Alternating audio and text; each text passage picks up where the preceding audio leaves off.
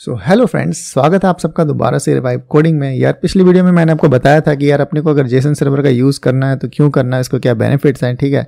मगर अभी तक हमने कोई सेटअप नहीं किया, ठीक है? तो यार, इस वीडियो में हम पहले सबसे पहले सेटअप करेंगे और देखेंगे यार जेसन सर्वर काम करते कैसा है, ठीक है? तो यार, इसके लिए मेरे को क्या करना पड़ेगा? सबसे पहले तो अपने फ़ाइल में जाना पड़ेगा, है ना? और यहाँ अपने को एक फोल्डर बनाना पड़ेगा तो पहले फोल्डर बना लेते हैं। तो हमने जेसन सर्वर डेमो नाम से फोल्डर बनाया, अब इसके अंदर जाएँगे और इसको टर्मिनल में खोल लेंगे। और यहाँ हम इसको अपने कोड एडिटर में ओपन कर लेते हैं। ओके सो अब यार जैसे कि आप देख रहे हो कि ये मेरा फोल्डर खुल चुका है, ठीक है? तो ये अभी बिल्कुल ब्लैंक है है ना? तो बिल्कुल हमें क्या करना पड़ेगा? हमें अपने प्रोजेक्ट को इनिशियलाइज करना पड़ेगा। तो इनिशियलाइज करने के लिए मुझे क्या करना है? मुझे एक कमांड लिखनी है N P M init right और फिर मैं लिखूँगा माइनस वाई राइट क्या लिखूँगा? माइनस वाई जैसे ही मैं करूँगा तो जो प्रोजेक्ट है वो इनिशियलाइज हो जाएगा और अपने प्रोजेक्ट के अंदर अगर हम जाके देखें तो हमारा पैकेज जो जेसन नाम का फोल्डर बन गया, ठीक है? अब क्योंकि यार ये जेसन सर्वर है ना तो हमें बेसिकली एक तरह की जेसन फ़ाइल चाहिए होगा। तो हम यार यहाँ एक जेसन फ़ाइल बना लेते हैं और उस जेसन फ़ाइल का हम नाम दे देते हैं डी बी डॉट जेसन है ना? डी बी डॉट जेसन और इसके अंदर मैं कुछ डेटा प्रिंट कराता हूँ। तो यार जैसा कि आप यहाँ देखोगे तो मैंने बेसिकली क्या किया एक प्रोडक्ट नाम का और एक रिव्यू नाम का मैंने जेसन फॉर्मेट बना लिया, ठीक है? अगर आप देखोगे तो इसमें मैंने रखा क्या है? कुछ नहीं रखा है, जैसे सिंपल सी डिटेल्स होती है, वही रखी है। प्रोडक्ट्स के अंदर मैंने लिखा है प्रोडक्ट की आईडी फिर उसका टाइटल कैटेगरी प्राइस डिस्क्रिप्शन ठीक, उसी तरीके से जो रिव्यू है रिव्यू के अंदर यार मैंने चार फील्ड्स लिए हैं जिसमें मैंने आईडी रखी है। रेटिंग रखी है कि भाई मतलब कितना मैं रेटिंग देना चाहता हूँ, फिर मैंने कमेंट रखा है कि भाई क्या कमेंट रख रहे हैं हम, ठीक है? और फिर फाइनली उस प्रोडक्ट की आईडी की, ये जो मेरा रिव्यू है किस प्रोडक्ट के लिए राइट सो बेसिकली मैंने एक सिंपल सा बनाया और ये जो मेरा प्रोडक्ट है यार, ये भी एरे ऑफ़ ऑब्जेक्ट है है ना? और ये जो मेरा रिव्यू है, ये भी मेरा एरे ऑफ़ ऑब्जेक्ट है, ठीक है? राइट तो अब हम फ़ाइल स्ट्रक्चर में जाते हैं तो अगर आप यहाँ देखोगे तो पैकेज और जेसन के अंदर अभी कोई भी डिपेंडेंसी ऐड नहीं है, ठीक है? तो हमें क्या करना पड़ेगा? हमें इस जेसन सर्वर को अपने प्रोग्राम के अंदर इंस्टॉल करना पड़ेगा। तो हम क्या करेंगे N P M I JSON server को हम टर्मिनल में जाके रन कर देंगे। और यहाँ अगर आप देखोगे तो हमारा जो पैकेज है वो इंस्टॉल हो चुका है। कंफर्म करने के लिए हम क्या करेंगे? अपनी वी एस को एडिटर में जाएँगे और यहाँ पैकेज डॉट जेसन के अंदर अपना देखते हैं। तो हमारी डिपेंडेंसी के अंदर या जेसन सर्वर ऐड हो गया है। ठीक है? चलो, ये तो हमारा हो गया। अब बेसिकली अब काम आता है कि यार मेरे को इस जेसन जो मैंने फॉर्मेट बनाया था डी बी डॉट जेसन के अंदर जो मैंने डेटा रखा है, इसको मेरे को एज एन सर्वर यूज़ करना है, ठीक है? तो मैं क्या करूँगा यार, मैं यहाँ आऊँगा और इसके बाद मैं यहाँ एक स्क्रिप्ट लिखूँगा, ठीक है? मतलब ये जो मेरा फॉर्मेट है, इसको चलाने के लिए, इस पूरे जेसन को कनेक्ट करने के लिए, ठीक है? और इसको एक सर्वर के साथ लिंक करने के लिए मतलब एक एक एंड पॉइंट के साथ लिंक करने के लिए मेरे को क्या करना पड़ेगा? मेरे को एक सर्वर क्रिएट करना पड़ेगा, ठीक है? तो मैं लिखता हूँ इसको सर्व जेसन है ना? मैंने लिख दिया सर्व जेसन तो सर्व जेसन नाम से यार मेरी एक कमांड चलेगी, ठीक है?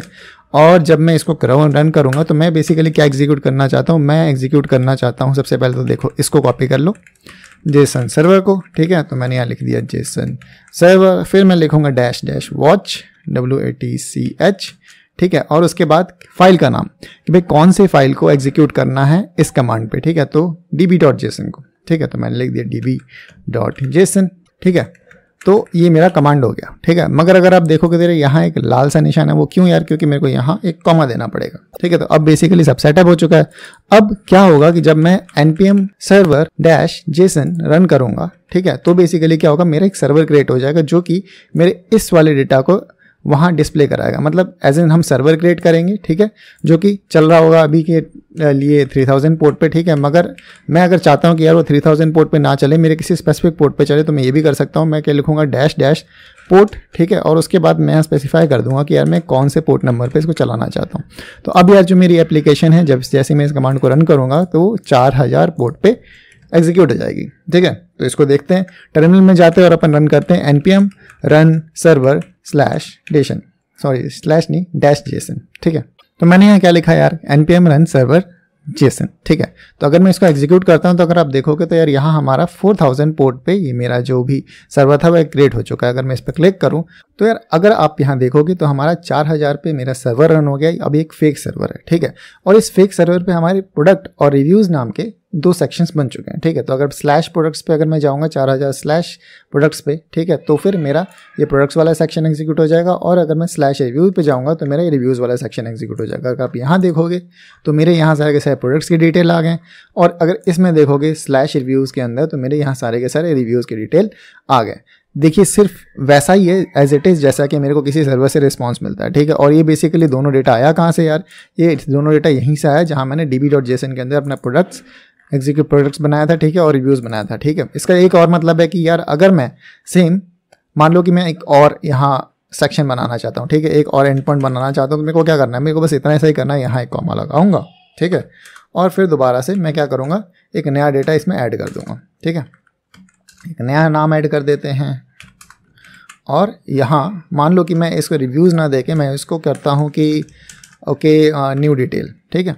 अब इसको सेव कर देते हैं, ठीक? अब अगर आप इस न्यू डिटेल को जाके वहाँ एग्जीक्यूट करोगे, यहाँ जाके देखोगे तो आपको यहाँ न्यू डिटेल पे वो सारा का सारा न्यू डिटेल मिल जाएगा, ठीक है? तो आप बोलोगे कि यार ये तो एग्जैक्ट वैसा ही दिख रहा है तो आपको बस दिखाने के लिए कि यार ये वही नहीं है, ये अलग हो चुका है। ठीक है? अब मैं अगर इस न्यू डिटेल को एग्जीक्यूट करूँ तो आप देखो, यहाँ ये रेटिंग की जगह पे अपना F D F D F D F D जो भी मैंने लिखा था, यहाँ आ गया, ठीक है?